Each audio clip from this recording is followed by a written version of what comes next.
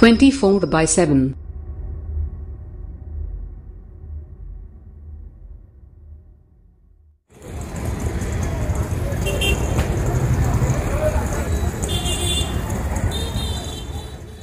बच्चा, सैयद सैयद ख्वाजा, जो जिनके नाना मुसाबली में रहते, उन्होंने फ़ोन करके तला करके बच्चे के साथ लापरवाही की जा रही है डॉक्टरों की बच्चा सीरियस हो गया है तो मैं फ़ोन पे डॉक्टर से बात करा, बोला तो डॉक्टर बात करने तैयार नहीं।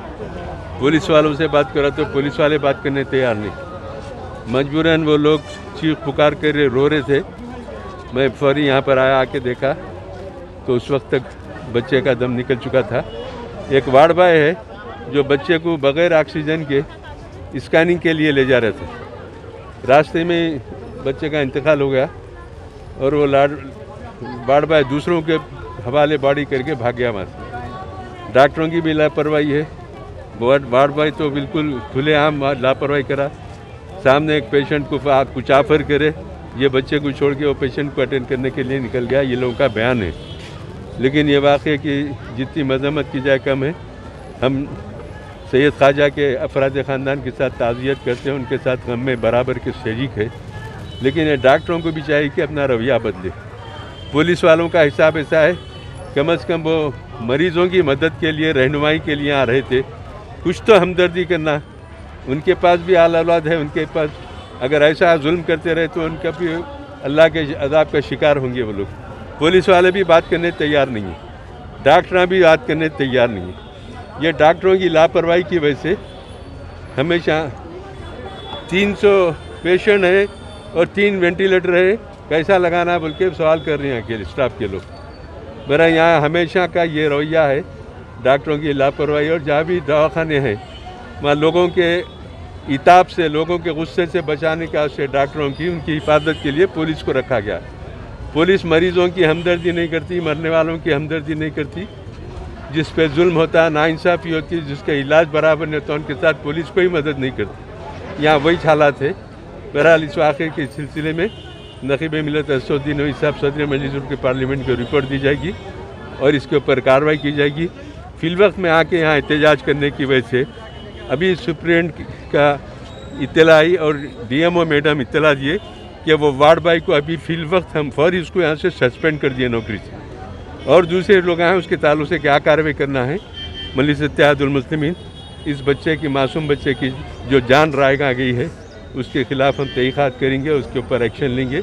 जो भी खसूरवार उनको सज़ा दिलाने की कोशिश करेंगे, ताकि आइंदा कोई गरीबों के साथ ऐसा इनका रवैया नहीं होना चाहिए।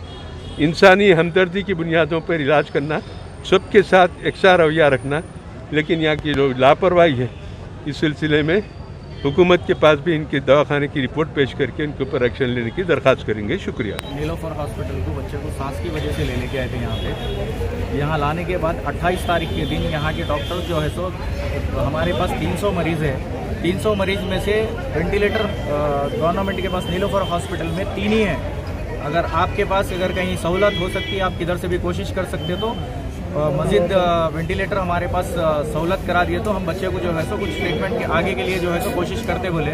फिर उनतीस तारीख यहाँ पे कोशिश करें, नहीं मिला। नहीं मिलने के बाद में उनतीस तारीख के दिन बच्चा अभी स्टेबल है, बच्चा अच्छा है, अभी कोई प्रॉब्लम नहीं है बोल के बोले। उनतीस तारीख गुजरने के बाद तीस तारीख के दिन सुबह में ये बच्चे को लंग्स का कुछ प्रॉब्लम दिख रहा तो इस बात से हम सीटी स्कैन कराने के लिए जो है सो भेज रहे हैं बोल के। डॉक्टर और एक वार्ड वाइज सुभाष को भेजे हैं।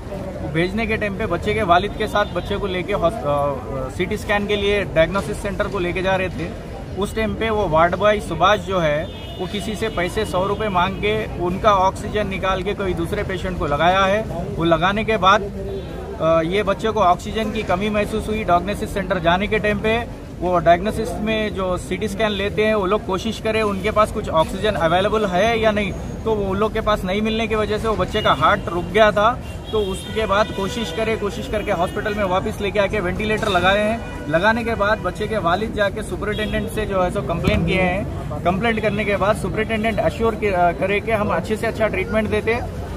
With in one one hour को जो है सो इनको मॉनिटर करते हम लोग स्पेशली और वो बच्चे बच्चे के ऊपर एक्शन लेते बोले हैं। लेकिन उस टाइम पे जो डॉक्टर्स ड्यूटी डॉक्टर्स है, उनके नेगलेंस की वजह से उनका इनकन्वीनियंस इतना था कि वो लोग बच्चे को कोई रिस्पांस नहीं दिए। ये लोग उनके पेरेंट्स वगैरह जो है वहाँ पे आके बार बार कर रहे हमारा बच्चा नीला पड़ जा रहा है, बच्चा घट हो रहा है। तो उस टाइम पे वो लोग अपने फ़ोन में मसरूफ रहने के वजह से ये इंसिडेंट हुआ है। और ये लोग इनको बार बार बोल रहे हैं, बच्चा अभी अलाइव है या नहीं?